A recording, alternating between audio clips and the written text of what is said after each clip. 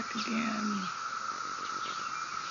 About 15 minutes later, it seems like they're still going at it. So, uh, never seen anything like it. And they're definitely joined. So hopefully they will make many more